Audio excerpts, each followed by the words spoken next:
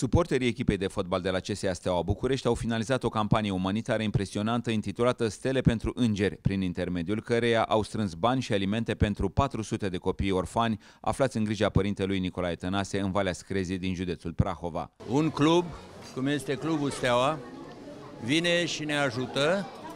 Nu este greu, nu este ușor. În felul în care suntem ajutați, Uh, putem să menținem numărul acesta mare, care parte din ei vin și pleacă când își rezolvă părinții problemele și, din păcate, unii rămân și nu au parte de o familie. Zeci de suporteri s-au deplasat cu mașinile proprii și cu un tir plin cu alimente la căminul de copii, acolo unde au adus o rază de speranță pe chipurile celor mici.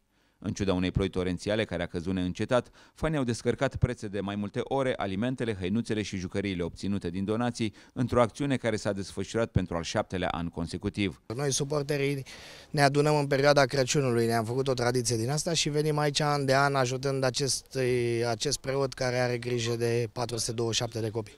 Totul s-a încheiat cu un spectacol oferit de copiii din Valea Screzii și cu apariția lui Moș Crăciun care le-a împărțit cadourile mult așteptate. Campania a fost organizată de gruparea Old Boys 1947 CSA Steaua, iar alături de suporteri s-au aflat și capitanul echipei Steaua București, Horia Iancu, alături de colegii săi Florin Răzdan, Cristian Gitaru și Mihai Butoi, care au dăruit copiilor mingi de fotbal cu autografele lor. Un caz nefericit pentru copiii de aici și apreciez inițiativa suporterilor noi am venit cu inima deschisă. Eu am venit cu gânduri bune, am venit de plăcere, am ajutat și eu cât am putut și colegii mei cât am putut și sper să fie bine pentru copii.